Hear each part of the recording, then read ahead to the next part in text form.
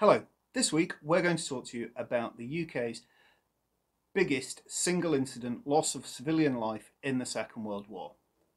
Today we're talking about the Bethnal Green tube disaster. Now at 8.17pm on the 3rd of March 1943 the air raid sirens sounded and the residents of the area made their way to their shelters.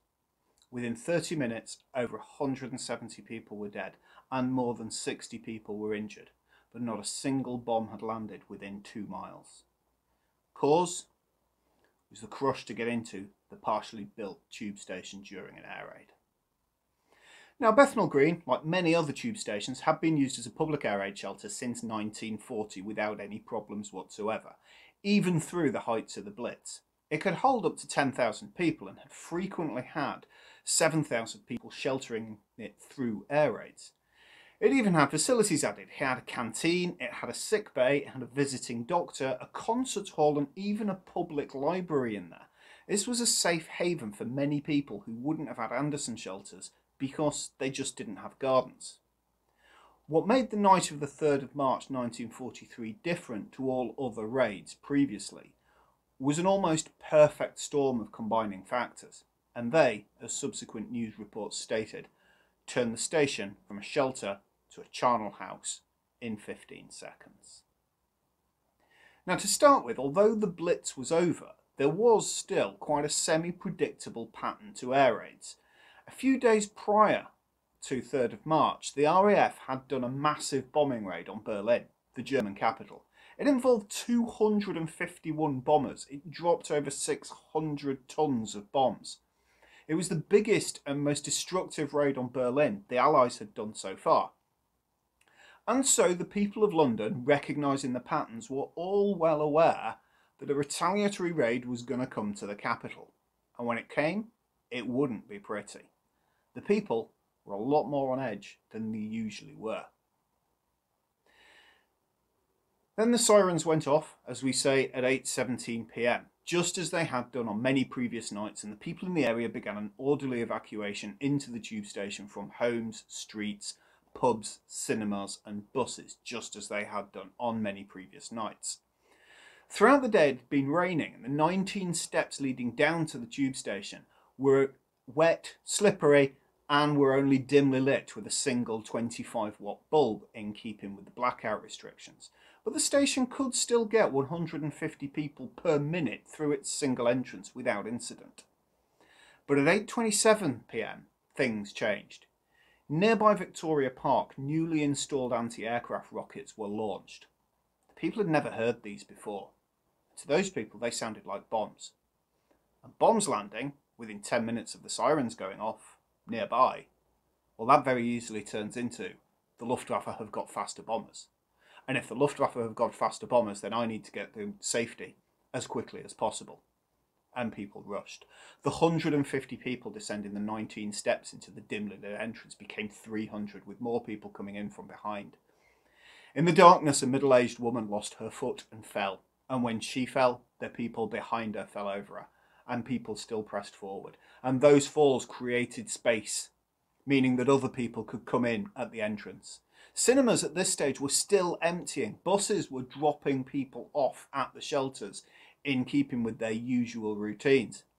Meanwhile, 300 people were now piling up on the floor at the base of the steps. The pressure of the crush meant that they couldn't call for help, and those who could call for help were drowned out by the sound of the sirens and the rockets, and more people would enter the crush. Within minutes, the pile of people at the base of the steps was five or six deep. And when ARP wardens arrived on the scene, it was almost impossible to move anyone. 173 people had died of suffocation and 60 more required urgent medical treatment. In the aftermath of the tragedy, there was the search for answers and the search for blame, and the subsequent handling of the disaster has led to conspiracy theories and cries of cover up that stay with us till today. Now, following the disaster, the details were suppressed. The wardens and doctors on duty were asked not to discuss it, the subsequent inquiry report was not published until close to the end of the war, which does look a little suspicious. However, the government's reason for this, as they stated on the publication of the report, was to prevent the public losing confidence in the tube network as a shelter. and doing so would have potentially endangered many, many more people.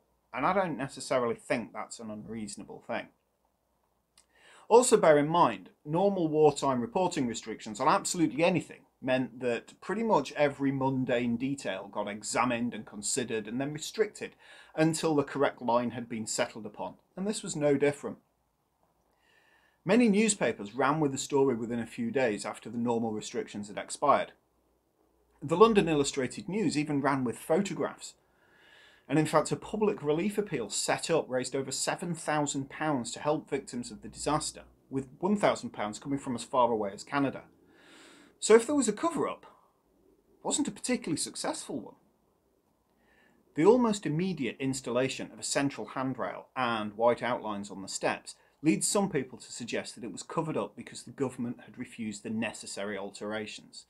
The subsequent inquest did reference that the Borough Council had pointed out the lack of crush barriers back in 1941 and that the government had refused the budget to do so. But it also referenced that in the opinion of that judge there was insufficient evidence to suggest that this, or the alterations requested by the council in 1941, would have actually prevented the crush. The inquest stated the disaster was caused by a number of people losing their self-control at a particular unfortunate place and time. Now, whether you believe that's the case or not, it didn't blame the government, so it's unlikely that the government suppressed the report to avoid the embarrassment or the public culpability. Now, there is one persistent conspiracy theory that drives us up the wall, and I'd like to deal with that right now. There are several articles out there that suggesting that there was no air raid on the 3rd of March 1943, and that the firing of anti-aircraft rockets was a secret test of that new defence system. And this makes no sense to us at all, for a number of reasons. Number one, if you have a new secret anti-aircraft weapon, then you test it somewhere like Salisbury Plain. You don't test it in the middle of the East End on a busy night. And it's not like it was a secret weapon anyway. It was a Z battery, like these ones pictured here. They'd been in operation in the UK since 1940. They were being used by the Home Guard. This is hardly technology that needs testing. They also know it works. And furthermore, while no bombs landed on Bethnal Green that night, the Luftwaffe very much did show up in an air raid. The 155 people killed on it would, you know, suggest that. Here's a map we've plotted of all the London districts that are hit by air attacks on the 3rd of March 1940. The red marker that you can see there is Bethnal Green. Now, given the surrounding districts of East Ham, Poplar and Islington all had bombs dropped on them that night, it is perfectly reasonable to suggest that Bethnal Green would use all the air defences at her disposal. Basically, the rockets were not a test.